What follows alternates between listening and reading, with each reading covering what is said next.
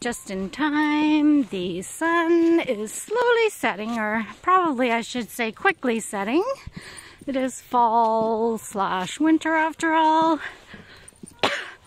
and I definitely like to be off these trails before the sun goes down. So, um, yeah, so we're on our way back. We're probably about, oh, 10 minutes away from where we entered.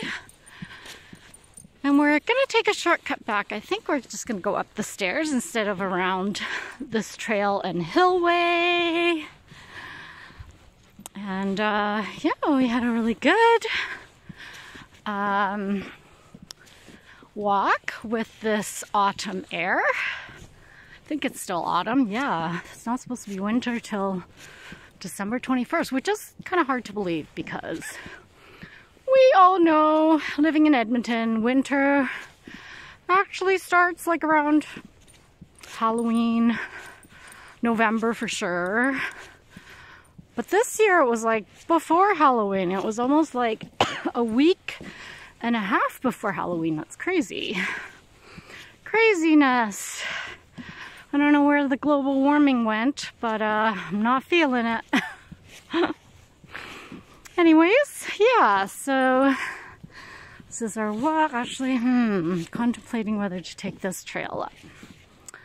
Uh, actually, maybe we will. Yeah, there's a few, there's a few ways of going back to our van, so I think we will take the trail. And I like that these guys noticed. I'm off the paved path and they are all here with me. Awesome job, guys. Yeah, they make me look so awesome. They make me look like I'm an experienced dog person. I have total control. I know what I'm doing. And it's like, mm, really, it's all them.